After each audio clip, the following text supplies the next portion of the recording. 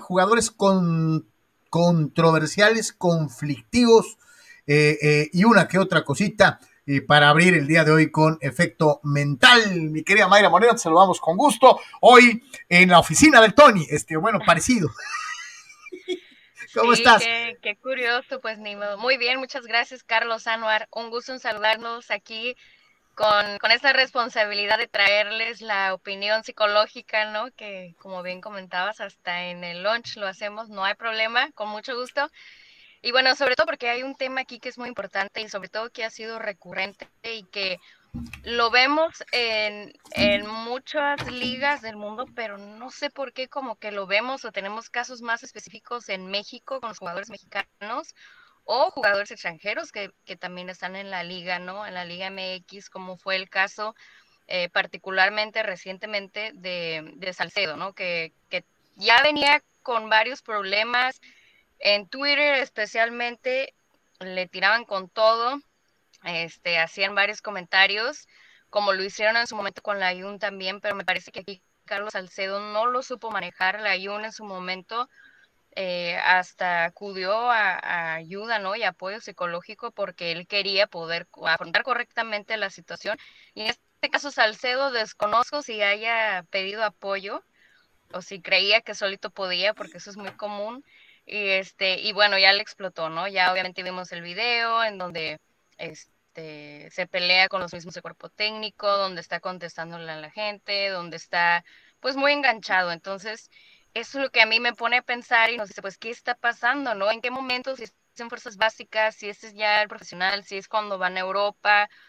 ¿Qué sucede? Que los jugadores están desconectados de la realidad, eh, están viviendo una sensación o están teniendo una personalidad de, de que somos intocables, ¿no?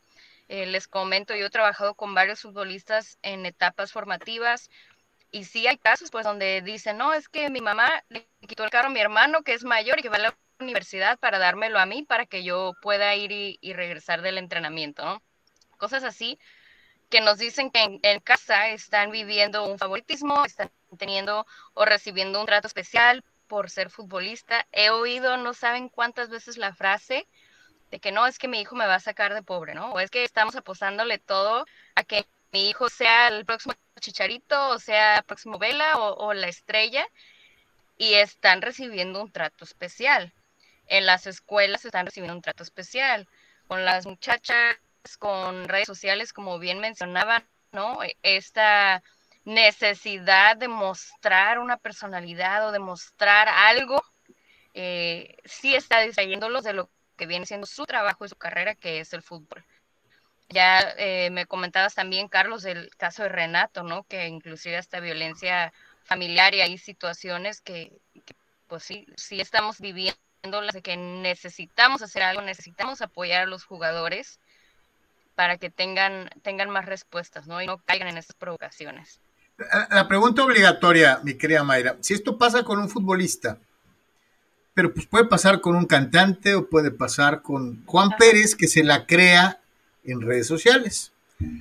Yo preguntaría eh, en este caso, prácticamente, ¿cómo evitamos que las redes sociales contribuyan a crear una imagen falsa de nosotros mismos y que al final terminemos creyéndonosla? Porque nos ha tocado el caso de tratar personalmente a diferentes eh, individuos y los ves en persona y son de una manera y los lees en redes sociales y son de otra completa. Es como Hulk, ¿no? Este, en las redes sociales y al abrigo del anonimato, híjole, agarren los que llevan vuelo. ¿Cómo evitamos caer en la trampa de, de las redes sociales? Sí, es excelente pregunta. Yo creo que va a ser un trabajo constante y continuo, ¿no? Y sobre todo también de no sentir la necesidad de tener que compartir todo esto, ¿no? La necesidad de tener que mostrar. Yo creo que viene desde ahí, desde la crianza en casa, desde el, el favorecimiento de la autoestima y sobre todo de compartir también un poco la parte este no tan bonita, ¿no? Por ejemplo, hay muchas eh, personalidades en Instagram o, en otras cuentas en donde comparten la parte cruda de la vida, ¿no? La parte que, que normalmente otra gente no comparte y también tienen mucho éxito. Entonces, es esta parte de mostrar uno la realidad. Si quieren compartir los buenos momentos, también pueden compartir los malos momentos. Si quieren eh, compartir, obviamente, cuando tienen un éxito y de repente un fracaso, a veces nos cuesta un poco trabajo admitirlo o compartirlo.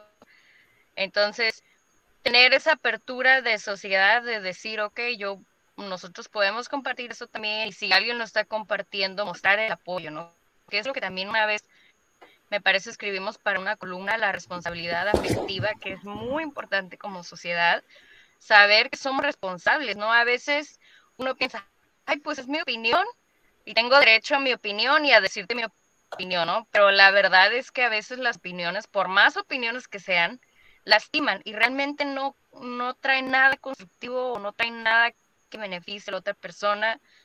Y entonces a veces preguntarnos, bueno, ¿para qué lo dices? O sea, ¿cuál es tu fin? Si esta persona, celebridad, sí, probablemente el futbolista tiene 30 mil comentarios en una foto que acaba de subir y, y es cierto, probablemente no lo lea.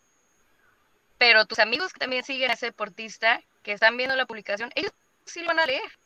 Ellos sí van a ver lo que tú le estás poniendo a esta persona, ¿no? Entonces, habla más de ti que lo que pudiera, lo que pudieras estar diciendo de, de la celebridad, ¿no? Eso habla más de ti como persona. Entonces, podemos empezar por ahí, fomentar la responsabilidad afectiva, saber que podemos compartir también momentos malos y tener una red de apoyo, eso es importantísimo. Y si vemos que alguien está compartiendo algo difícil, bueno, ser, ser soporte para ellos. El caso, el caso de Salcedo me llama mucho la atención, ¿no? Porque desde antes, cuando recién era una especie de prospecto, de este, había puesto, ¿no? Es que yo le voy a la América, ¿no? Y luego terminó en las Chivas.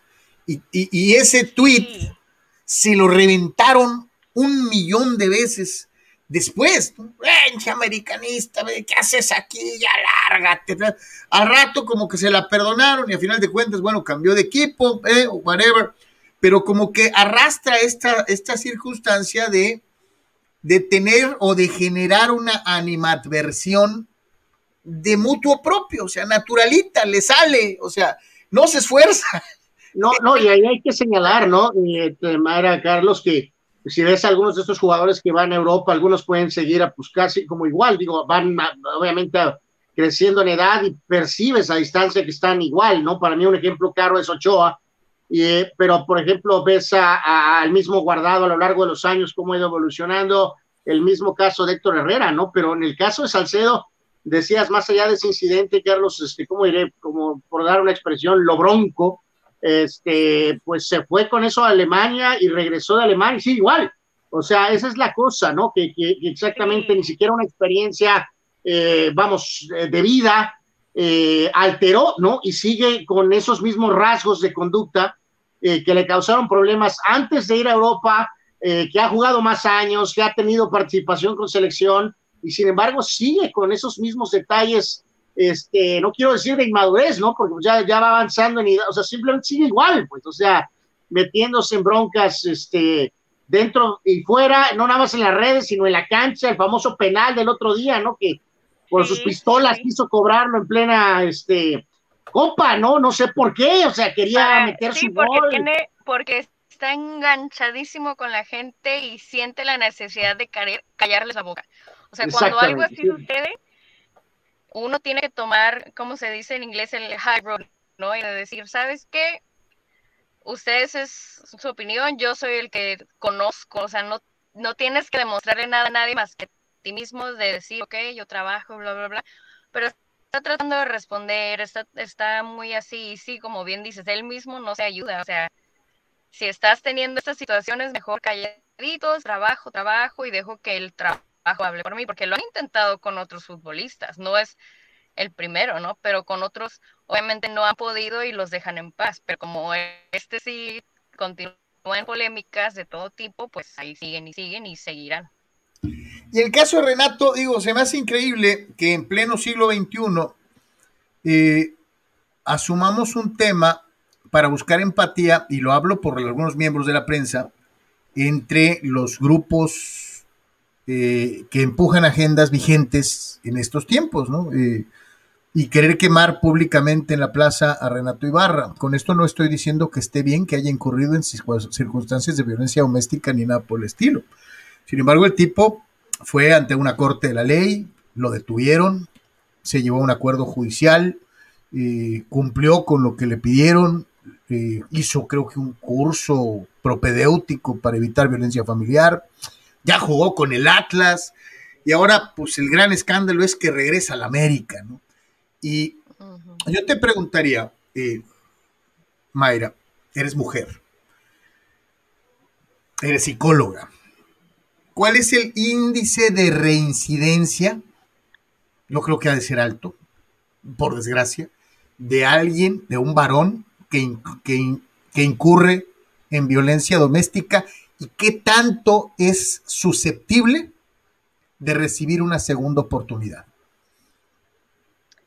Los índices son altos, sobre todo cuando no hubo una consecuencia real, ¿no? O sea, sí hubo un curso y esto, pero realmente mm, no fue una consecuencia legal real, digámoslo así, ¿no? Entonces, sí puede ser alto. Todas las personas también, obviamente, merecemos una segunda oportunidad. Ahí sí desconozco familiarmente e internamente qué esté pasando. Eh, sería muy importante considerar eso. O sea, muchísima gente cambia, ¿no? muchísima gente luego recurre a otros grupos hasta religiosos y, y realmente conecta y da un cambio de vida y es, y es real y es posible. Nada más sería investigar ahí.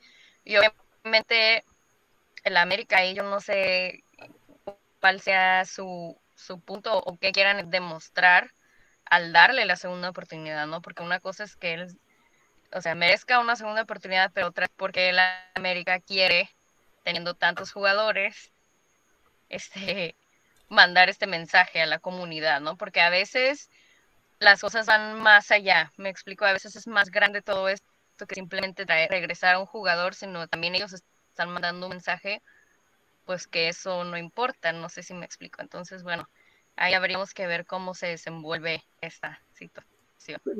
La, cosa ahí que salta, Mayra, es ese tema, ¿no? De que sabemos que América, pues es el equipo más importante, bueno, junto con Chivas, si quieren decirlo, uno, dos o dos y uno, este, pero el tema es que este jugador, pues ya, ya jugó con el Atlas, ¿no? O sea, digo, se me hace, es como decir que el Atlas, pues es, no sé, un equipo que no tiene, este, no digo que tú lo digas, sino en general, ¿no? Me refiero como que no tiene estándares morales, porque como no gana desde el 51, este, pues puede tener a, Jack el Destripador ahí literalmente, ¿no? Y es, es aceptable, ¿no? Y el América supuestamente tiene que tener estándares morales más altos que el Atlas. Ahí sí me cuesta un poquito embonar esa situación, ¿no? O sea, Sí, no, y este, además están mandando un mensaje a la comunidad de que puedes golpear mujeres y no pasa nada, te volvemos a contratar, ¿no? A, a los mismos jugadores de que no importa lo que hagan, se los vamos a perdonar.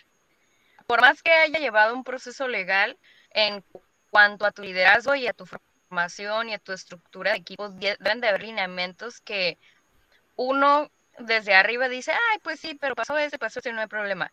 Pero los que están abajo, que están corriendo del balón, que están tomando decisiones extra cancha, también están viendo y están leyendo entre líneas e interpretando otras cosas que la verdad sí es importante reconocer, ¿no? Como por ejemplo, eh, platicaba con mi gran colega Mónica de, de, la importancia de marcar precedentes con jugadores, ¿no? Cuando tienen una indisciplina, o sea, ver, bueno, a ver qué es lo más importante aquí, ¿no? Eh, en este caso, ganar un partido o ganarte el equipo, ¿no? Porque, pues obviamente, todo esto tiene eco y tiene consecuencias y es importante que, que sean muy congruentes.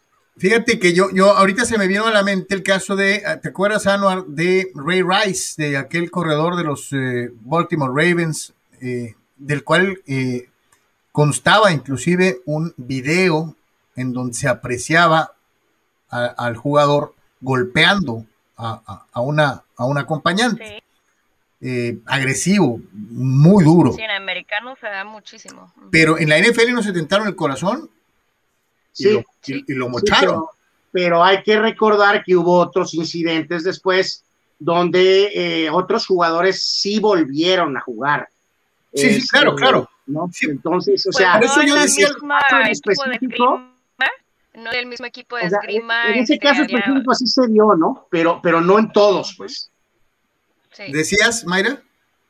Sí, que no en, en el mismo equipo de esgrima de Estados Unidos este, había un, un, un atleta que había sido, ay, no me acuerdo específicamente si acusado o condenado o algo, y aún así lo llevaron y sus mismos compañeros de equipo traían el cubrebocas rosita como en, Sí. en apoyo, ¿no? A las víctimas de abuso sexual. Entonces, muchas veces es difícil porque como fundación o como liga dices, ay, pues no pasa nada porque el jugador me trae más, ¿no? O creemos que el talento del jugador vale la pena pasarme las reglas por no sé dónde, pero las consecuencias, los valores, lo que tú estás mostrando a tu mismo equipo, a tu directiva, a tu administración, a la gente que trabaja contigo, porque a otros un, un error más mínimo y no se la perdonan, entonces... Sí, Digo, sí. Es, es un, es un tema muy polémico y por eso queríamos conocer tu punto de vista. A lo mejor, pues Carlos y yo tenemos otra, otra óptica. Este, no necesariamente significa que debemos de ser deportados del país, ni mucho menos. No, no, Eh, yo, sí este soy de caso la idea de que todos merecemos una Carlos, ¿no? Ahorita hay otro ejemplo muy claro, ¿no? Que es con Trevor Bauer, el caso de Trevor Bauer, el pitcher de los Dodgers, ¿no? Está acusado, ¿no? Y está separado ahorita, está en el proceso legal, tendrá que venir una resolución. Es muy probable que eh, los Dodgers con ese contrato de 100 millones de dólares Lo corten. o, la van a tener que perder, ¿no? Ahorita lo que dice un poco Mayra, ¿no? A lo mejor es correcto, ¿no? A lo mejor América tendría que tener estándares más altos que los eh, que, que el Atlas, tal vez, podría ser, por la, por la magnitud de la institución, ¿no? Pero en este caso, con el tema de Bauer, es casi, casi un hecho que aunque venga una suspensión o los Dodgers lo den de baja, eh, no van a poder correrlo de Major League Baseball. Entonces, Sí, los sí. Dodgers podrán sacarlo, ¿no? Pero es muy probable que como es un, un jugador talentoso, eh, va a acabar trabajando otra vez en otro equipo. O sea, no lo puedes privar de trabajar, sobre todo si se da un proceso legal que dé una resolución, ¿no? Y si no va al bote, Oye, Anuar, y no se Este- nos olvide, ¿no? Que Julio Urias tuvo su problema de violencia. Pues eh, Roberto Zuna, Roberto Roberto Zuna. Tuvo su problema de violencia doméstica. Y sin embargo, de una u otra manera, los dos siguen su carrera. Híjole, es que esto tiene tantas aristas. Y, y- y concuerdo contigo, Mayra. eh, eh, eh, debes de recibir, sin duda, un castigo ejemplar. Pero cuando cumples dicha sanción, yo me pregunto si no será pertinente dar segundas oportunidades. Y por eso mismo yo, yo decía, por eso te lo preguntaba, pero también me queda clarísimo lo que mencionas del tamaño de las instituciones y de la magnitud de las decisiones. No queríamos incurrir en eso, Anuar, de, de pues el Atlas es así y el América es así, pero probablemente lo que dice Mayra tiene cierto sentido práctico, real. No es lo mismo el Real Madrid que el Getafe. Y una decisión en el Sí, no, y Getafe. están representando mucho más que nada más un equipo, ¿no? Y, y eso es lo que han buscado tanto construir, construir como para dejarlo ir por una decisión así, me explico, entonces, o sea, ni a Messi lo mantuvieron, este, no sé, bueno, digo, esa es mi opinión desde la perspectiva de liderazgo y construcción de equipos, ¿no? De, de cómo tú quieres que después, porque si no luego les digo, alguien va a tener que tomar una decisión, ¿no? Pues voy de fiesta o no, ah, pues total, pero aquí perdonan todas. Y luego ya perdiste control de tu equipo. Así de sencillo. Yep, cierto. Mi querida Mayra, para variar y como siempre, ¿dónde los encontramos a nuestros amigos de Vértice Alto Rendimiento? En vérticealtorendimiento.com y de igual manera en Instagram o en Facebook como Vértice Alto Rendimiento. Un día de estos te voy a invitar a hacer una cápsula especial sobre esto. Después te Va, adelante. Le damos. Muchísimas gracias. Que te vaya muy bien. Carlos Anuar, que estén muy bien. Saludos. Hasta Buen luego, día. que te vaya muy bien. Y siempre será eh, eh, excelente tener eh, una diversidad de opiniones, ángulos diferentes, formas de ver las cosas, porque eso nos permite crecer a todos.